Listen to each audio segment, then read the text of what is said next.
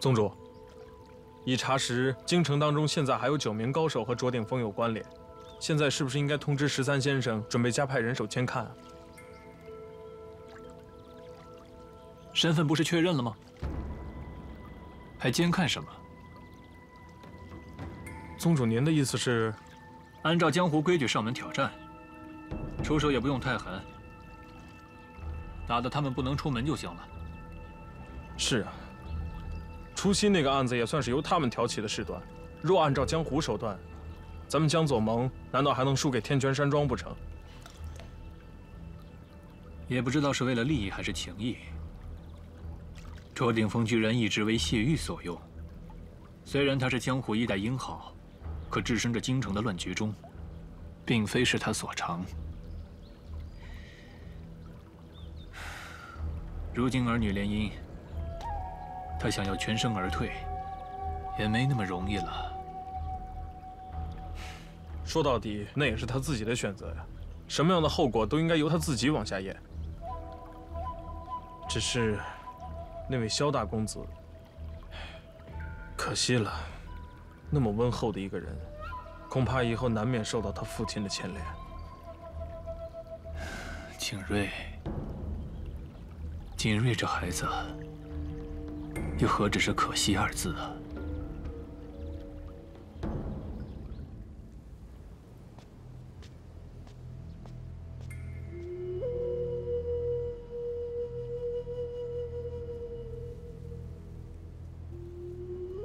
你是何人？久闻秦大侠剑法出众，在下初入江湖，想挣点名声，故而来访，请秦大侠出手吧。你是来挑战我的？讲这么多废话，我今天事儿还多着呢。要是不敢，就滚回屋子，别出来。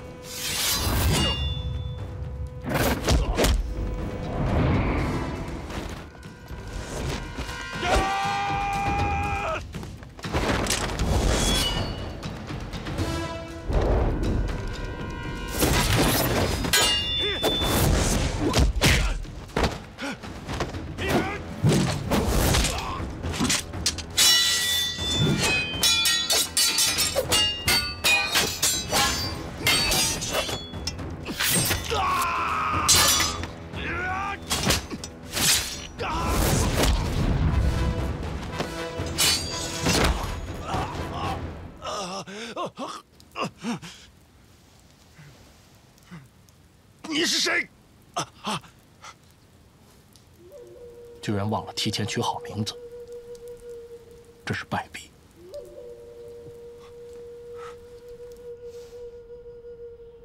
到底是谁？你请进京城的江湖高手，一天之内都被打伤了。论江湖力量，江左盟原本就占着上风。待他查明哪些是我的人手后，梅长苏派出一个青衣剑客逐一上门挑战，居然被他一一击伤。从今以后，如果再在京城内滋事的话，已经没有可靠的人手了，只怕削弱禁军力量的计划要搁置一下了。梅长苏，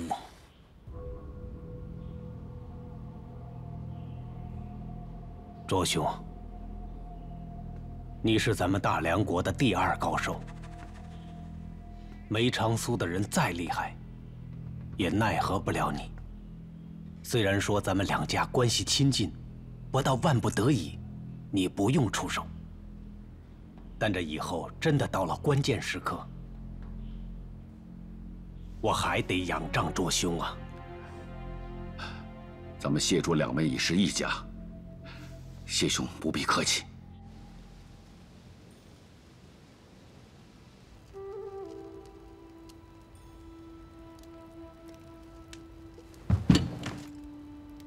宗主，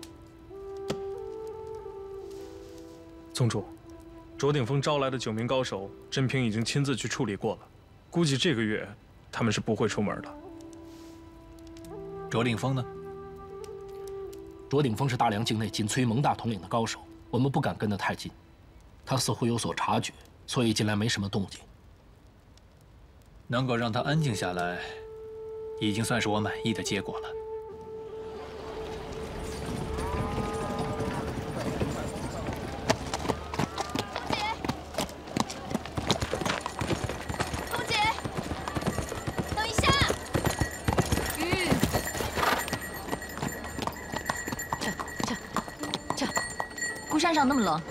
你也不穿件披风啊？已经冷习惯了，也不可能更冷。每年的初五，你都去孤山上祭奠聂将军，这份情谊真是难得。每年只要你在京城，必定会赶来送我，这份情谊我也记得。我也不能陪你去，就只能送送你了。瞧，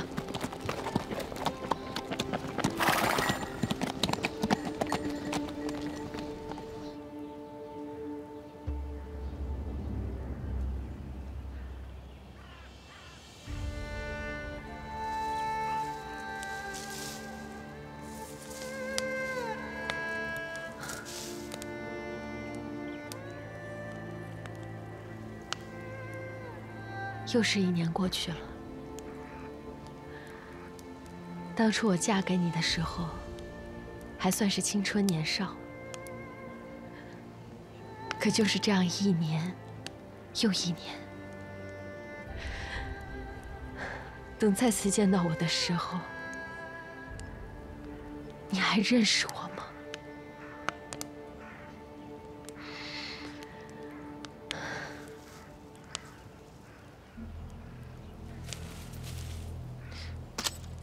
什么人？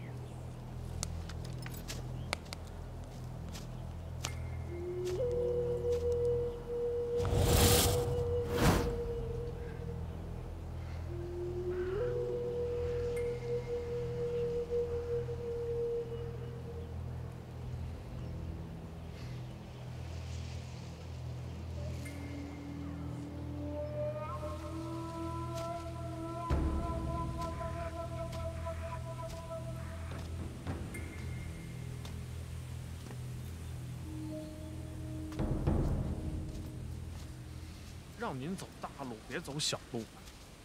怎么样，宗主，身体还撑得住吗？没问题，走小路不是挺好的？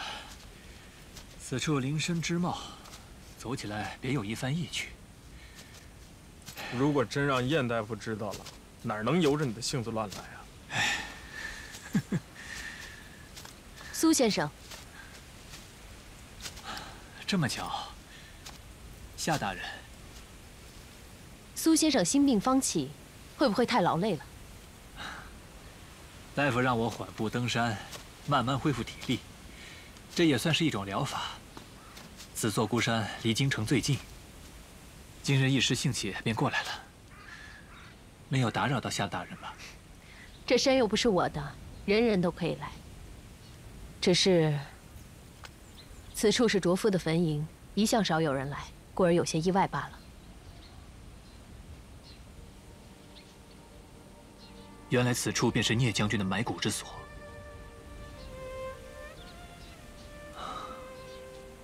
季风将军一代名将，苏某一向很仰慕。今日有缘来到此处，可否容我一计，略表敬仰之情？承蒙先生厚爱，请吧。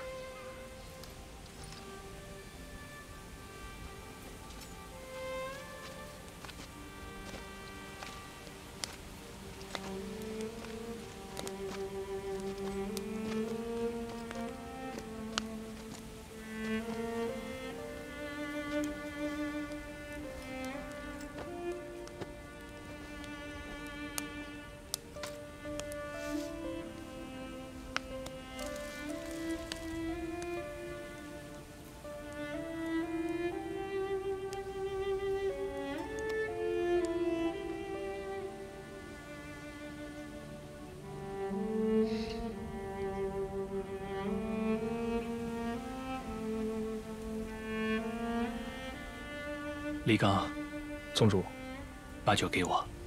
是。宗主。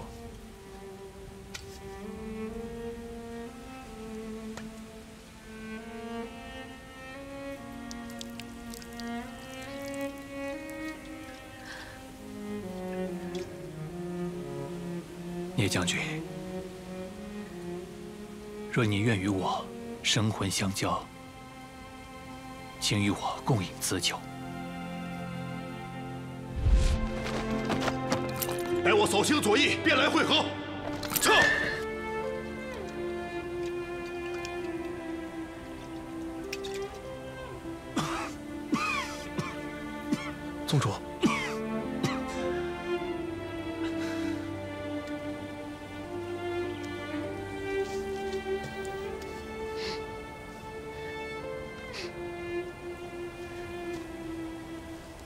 聂夫人，此人已逝，请节哀。苏先生的情谊，魏王人感同身受。夏冬在此谢礼了。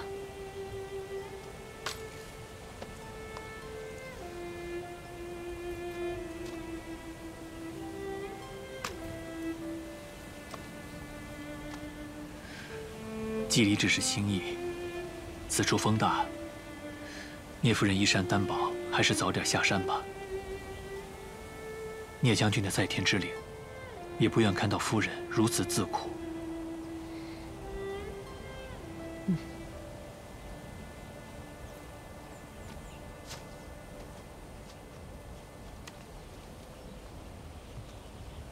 苏先生是要回城吗？此时尚未过午，回城尚早。听闻临近的古镇有绝美的石雕。我想趁此闲暇过去看看。赤霞镇的石雕的确值得一看，只是我在京中还有事务，恕不能相陪。夏大人请便。最近那件被杀的案子确实难查，夏大人辛苦之余也要保重身体。苏先生此话何意？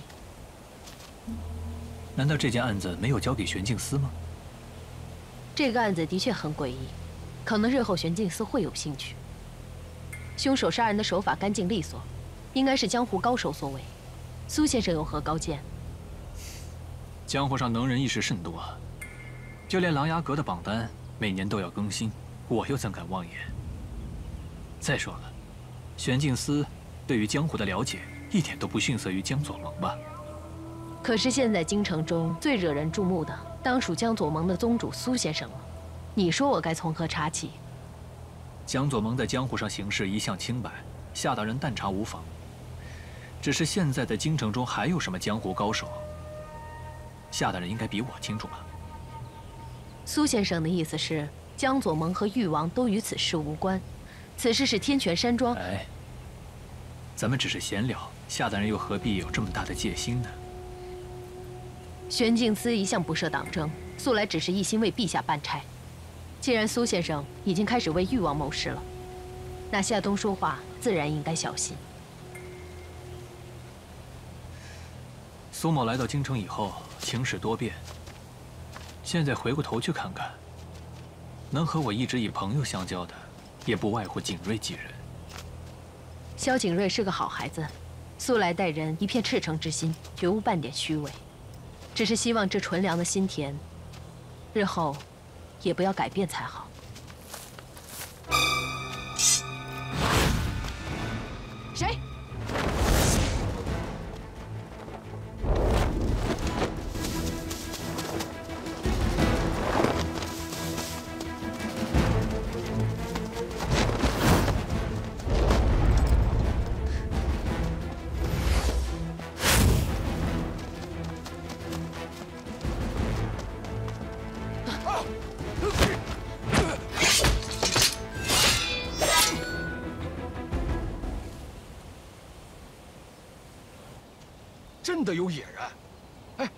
个头那么高，全身长着褐黄色的毛，哎呀，力大无穷，跑得飞快，哎，还喝血呢，好些人都看见了。他搅扰的山民不宁，我们这才奉命来围捕他。围捕行动不是从年前就开始了吗？怎么还是没有抓到？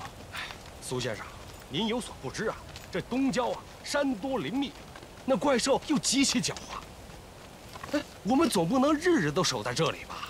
哎，前几次来，连个影子都没见着，也就这回算是追到点踪迹，这不，还被吓的人给吓跑了。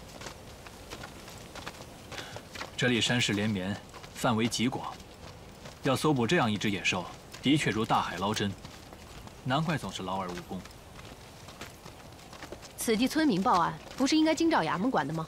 哎呀，你们有所不知，这怪兽啊，厉害着呢。京兆衙门的捕快围过一次，五十个人，剩了一半都没给捉住。高大人也没了办法，这才求到我们王爷面前。这种干了也没什么大功劳的事儿，也只有我们王爷肯管。你们王爷管的闲事还少吗？啊，苏先生。夏冬告辞。夏大人慢走。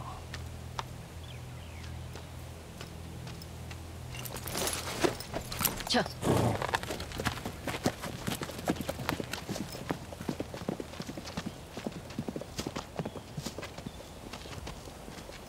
哎，先生，你刚才瞪我干嘛？我，我刚才是不是又说错话了？不错，知道要反省了。看来是靖王殿下调教有方。你刚才在夏冬大人面前说的那番话，虽然没有什么大碍，但是以后能别说就别说了。现在靖王殿下要少说话，多做事，你们这些当手下的更要明白这个道理。哦，好，请先生放心，我记住了。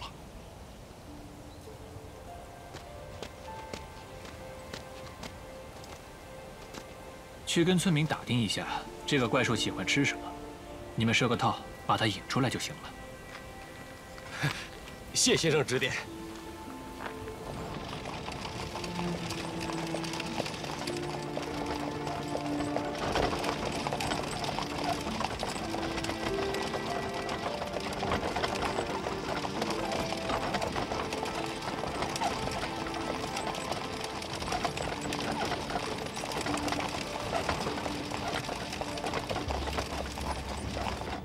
禀报宗主，我发现卓清瑶最近一直在跟踪沈追，也不知道到底想干什么。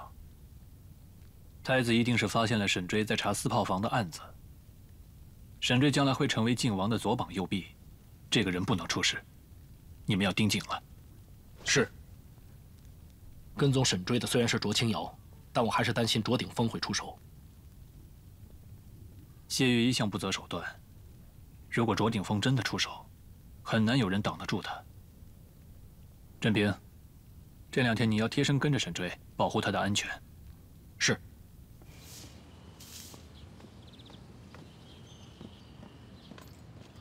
大公子，您一早就去练剑啊？啊，是。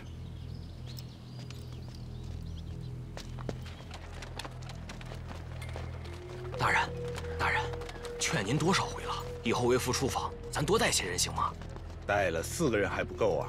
这京城里大白天的能出什么事情？大人，好了好了。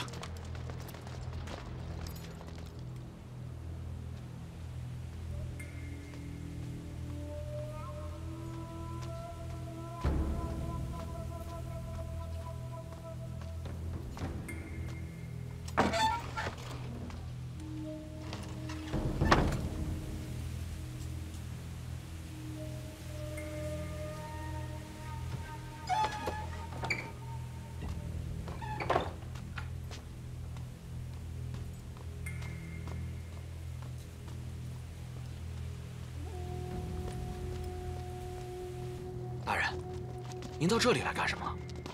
听说这一片巷子里藏着许多地下钱庄。地下钱庄？嗯，您就带这几个人到地下钱庄里来？我又没说要进去。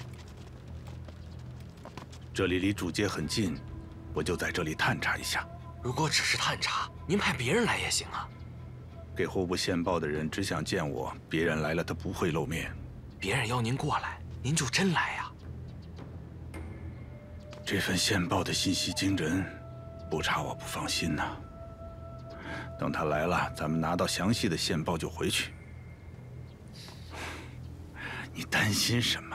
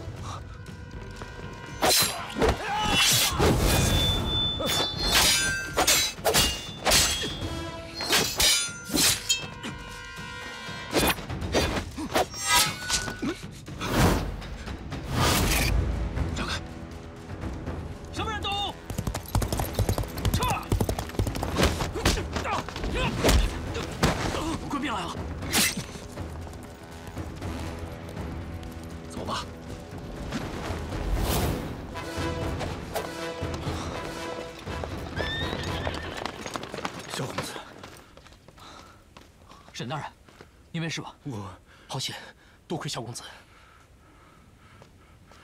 多谢萧公子仗义援手。你说什么？失手了？是我低估了沈追身边的防卫，靖王府的人又恰巧经过，只能只能无功而返。现场可否留有物证？我们及时撤离，没有留下任何证据。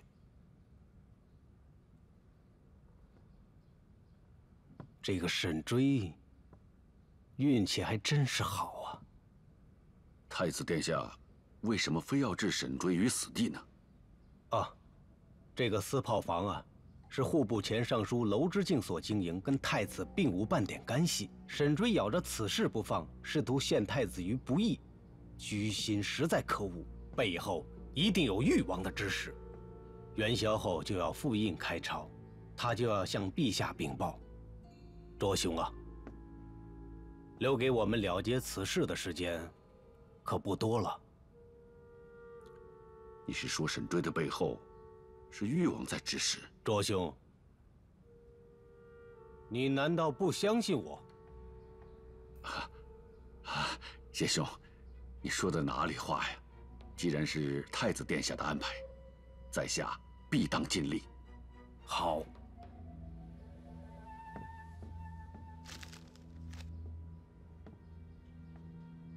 这是沈追府的私宅图样。嗯，卓兄，此番出手，务必一击而中。拜托了。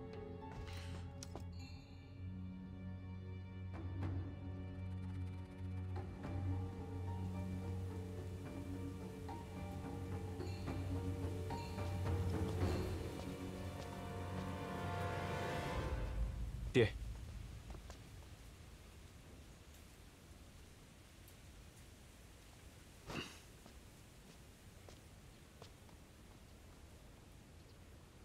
景睿，你知道你自己今天在干什么吗？我只知道，沈大人领任户部尚书以来，从未听说有什么劣迹。爹爹为何要去刺杀他？谁安排的此事？我不说，你也能够猜得出来。这岂是我能左右的吗？我不懂党争到底是怎么回事。我只知道，为人在世，要分得清黑白，看得清是非。难道爹爹真的想让天泉山庄这把世代相传的宝剑染上无辜者的血吗？你，爹，我和你父亲所谋之事都是为了谢卓两门的将来。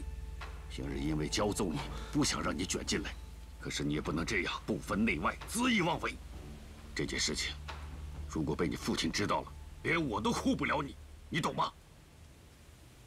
爹，以后再有这样的事情发生。我绝不轻饶。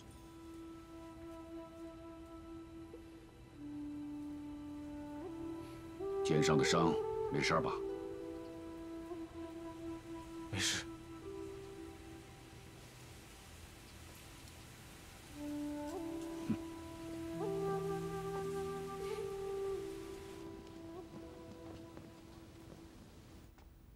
师妹，师傅他老人家来信了。终于来信了啊！师傅什么时候回来？信上说要比原定的归期再推迟两个月。原本师傅这次去东海修行的时日就很长，为什么还要推迟？啊，这个信上没说。不过师傅把夏秋也叫过去了，我想，大概是有什么要紧的事情要办吧。怪不得，这次兄长过年都没有回来，原来是陪师傅去了。师傅不在的这段时日。京城变化甚大，等他老人家回来呀，怕是要吓一跳呢。陛下交付的内奸被刺的案子，到现在为止毫无着落。大师兄，你还有心情说笑？啊！说起这个案子，我听说最近京中出现了一个青衣剑客，剑法极精，会不会与此案有所关联呢？我已经查过了，此人行事一派江湖作风。刺杀内奸的案子应该不是他做的，而且他在案发后到处挑战高手。如果是他，岂不是不打自招？嗯。有理。那师妹的意思是，还是怀疑卓鼎峰了？这不像是普通的杀手所为。论现在介入朝政最深的江湖势力，只有江左盟和天泉山庄。那你为何不怀疑梅长苏呢？也不是不怀疑，禁军不稳，首先得利的是手握巡防营的谢玉和太子，所以梅长苏只能从我的名单上往后排了。既如此，那我就去会会这个卓鼎峰。大师兄是在逼我出手吗？啊，师妹出手当然好，我确有把握胜他。现在不妨暂时将追查的风声收起来，让他以为自己躲过去了。只要等到合适的机会，一击中定。你记清楚了，这个定窑的杯子是宗主用来喝茶的，这个薄胎描金花的用来喝酒，不能与其他人的混放。好，泡茶的水就放在这个紫砂壶里，每泡茶叶的量我都分好了，就在这里。哦，宗主坐在哪个位子上，你就把这两个软垫放到哪个位子，记住了。一定是要两个，手炉的炭要提前烧好。宗主怕冷，千万记得要放过去。嗯，宫羽啊，宗主来是有事情，不是听你弹琴的。你准备这些干什么呀？再说了，他也未必会注意到啊。就算宗主注意不到，只要他能舒服一些，我便高兴。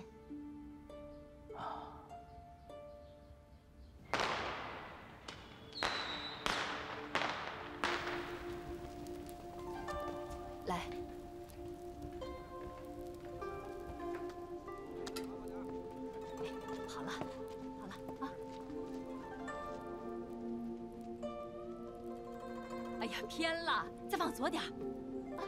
可以了，可以了，挂吧，挂吧。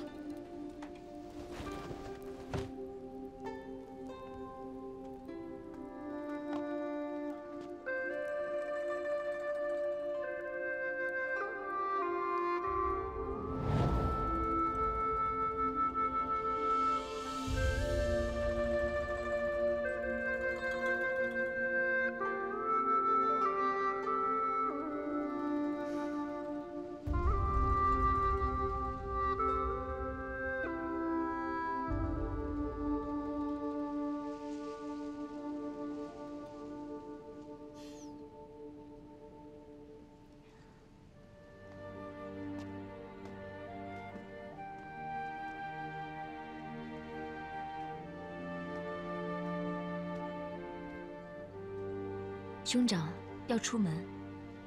是啊，要去一趟妙音坊。妙音坊。啊，有点事要去办。霓凰明白。上元佳节之夜，霓凰也只是突然想见兄长而已。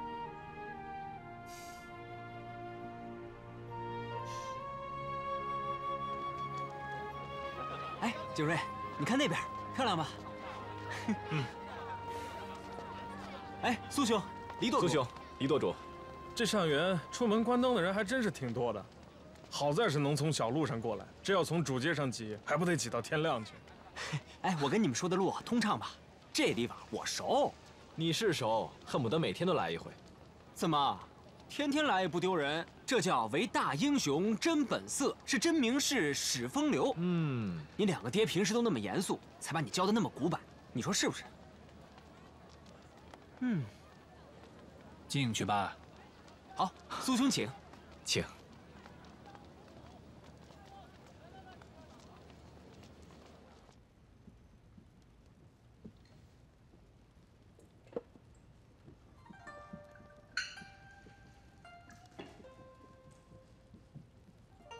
苏先生，这是您的位子。这小简还真有眼力劲儿，知道谁是贵客。以前我来的时候啊，可没这样招待过我。你来的人家都烦了，还能招待你啊？哎，宫姑娘，严公子，萧公子，苏兄，这位就是我经常向你提起的宫羽宫姑娘。想必，这位就是苏哲苏先生吧？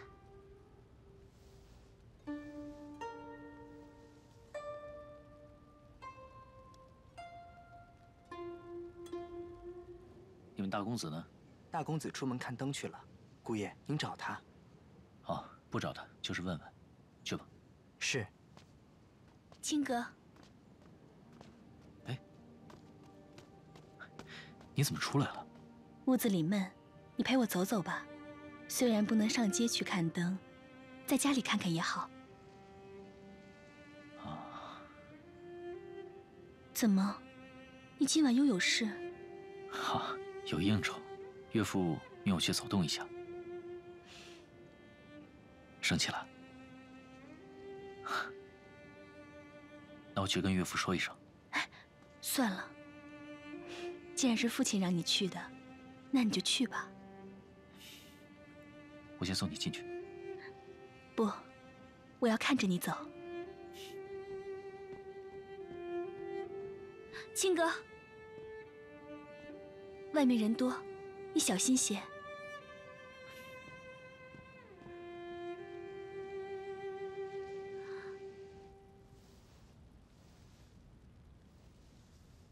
严公子常说苏先生是音律大家，宫羽特此准备了十三先生新谱的载酒行，请公子鉴赏。十三先生的新曲，那自然洗耳恭听了。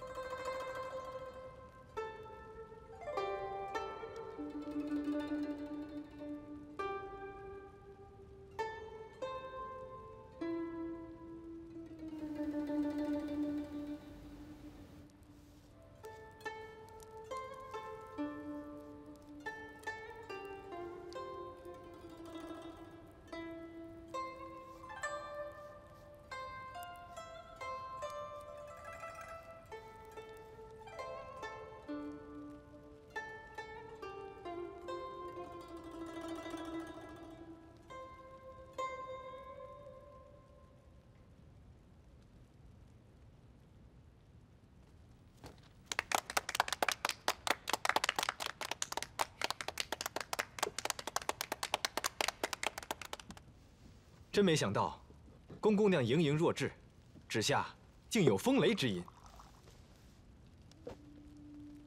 锦瑞虽然平时不说，也是喜好音乐之人。不如你四月的生日宴，就请宫姑娘来助助兴吧。这……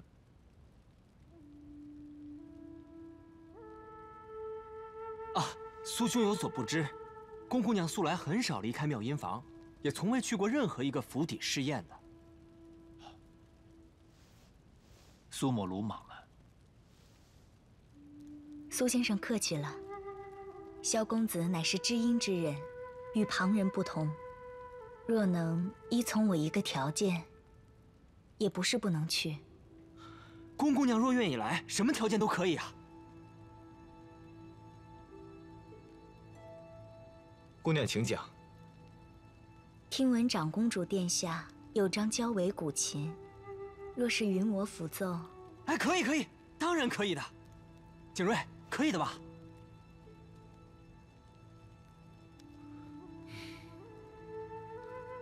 宫姑娘，家母也是爱好音律之人，只是不方便来此处。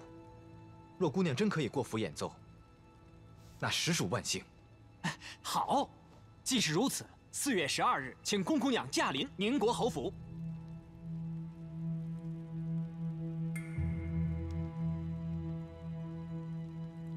四月十二日之前务必进京，方能不误大事。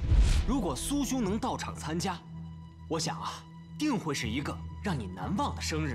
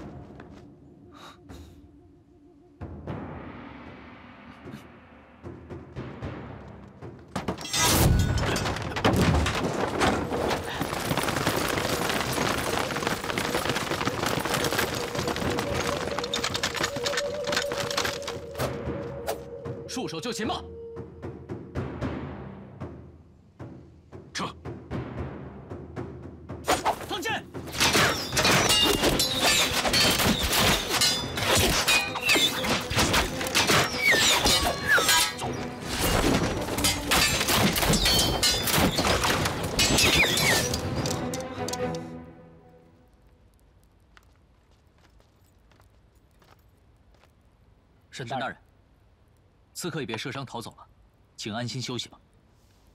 多谢靖王殿下和苏先生，有劳两位了。青儿，青哥，青儿，哎，青哥，青哥，青哥。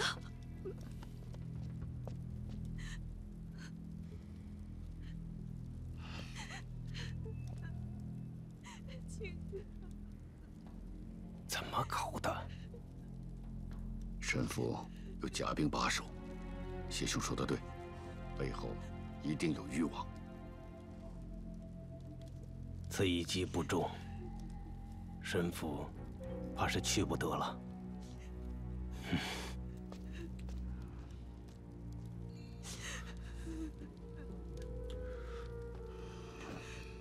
谢玉在宫中作乱，为的就是禁军统领的位子。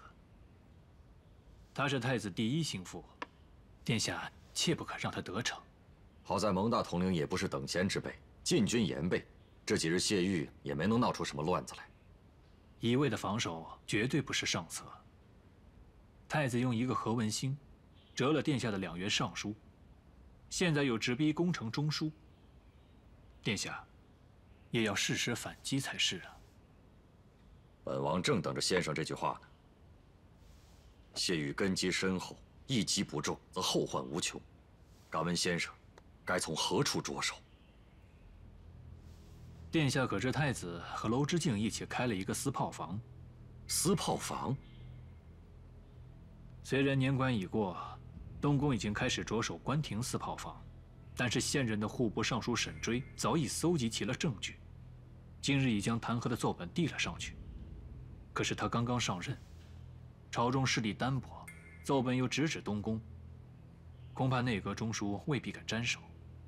这是难得反击太子的机会，还望殿下可以暗中相助沈追，切不可让太子轻易脱罪。先生果然是消息灵通啊！好，此事就交给本王来办。